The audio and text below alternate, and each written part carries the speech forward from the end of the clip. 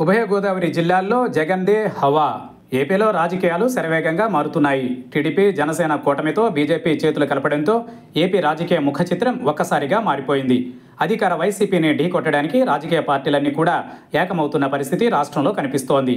మరోవైపు ఎన్ని పార్టీలు కలిసి వచ్చినా తమదే మరోసారి అధికారమని వైసీపీ అధినేత జగన్ ధీమా వ్యక్తం చేస్తున్నారు.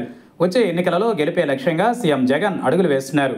ఇప్పటికే అభ్యర్థుల ఎంపిక కొలిక్కి రావడంతో ఎన్నికల ప్రచారానికి సీఎం జగన్ రెడీ అవుతున్నారు. సిద్ధం పేరిట నిర్వహించిన కార్యక్రమాలతో పార్టీ కార్యకర్తల్లో ఫుల్ జోష్ నింపిన జగన్ ఈ నెల పద్దెనిమిది నుంచి ఎన్నికల ప్రచారం మొదలుపెట్టనున్నారు. దీనిలో భాగంగానే జిల్లాల వారీగా జగన్ సమీక్షా సమావేశాలు నిర్వహిస్తున్నారు. వచ్చే ఎన్నికలలో విజయం సాధించాలంటే ఉభయ గోదావరి జిల్లాల్లో మెజారిటీ స్థానాలను కైవసం చేసుకోవాల్సి ఉంటుంది.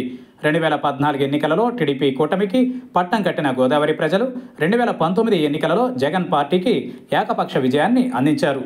దీంతో వచ్చే ఎన్నికలలో ఏ పార్టీ ఈ రెండు జిల్లాల్లో విజయం సాధిస్తుందో ఆ పార్టీయే అధికారంలోకి వచ్చే అవకాశం కనిపిస్తోంది.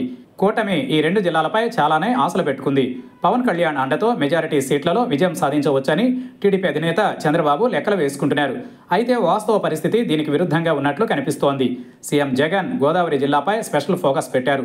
రెండు జిల్లాల్లోని అన్ని నియోజకవర్గాలలో సంక్షేమ పథకాల అమలు సంక్షేమ పథకాల పంపిణీ ఇతర పథకాలతో పాటు పలు అంశాలపై ఆయన ఆరా తీస్తున్నట్లు సమాచారం. ఇదే సమయంలో ఉభయ గోదావరి జిల్లాల్లో బలమైన నేతలపై అధికార వైసీపీ గురిపెట్టినట్లు కనిపిస్తోంది. దీనిలో భాగంగానే కాపు ఉద్యమ నేత ముద్రగడ పద్మనాభంను పార్టీలోకి ఆహ్వానించింది. గోదావరి జిల్లాలలో ముద్రగడ పద్మనాభంకు మంచి పట్టుంది. నాలుగైదు నియోజకవర్గాలలో ఆయన ప్రభావం ఉంటుంది.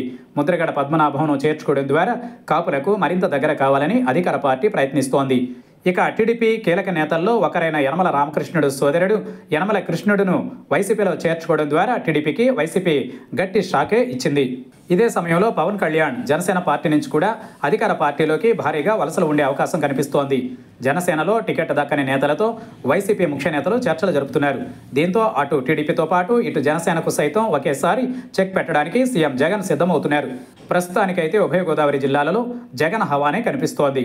మరి రాబోయే రోజుల్లో జగన్ ఎదుర్కొనడానికి రాజకీయ ప్రత్యర్థులు ఎలాంటి ప్రణాళికలతో ముందుకు వస్తారో చూడాలి.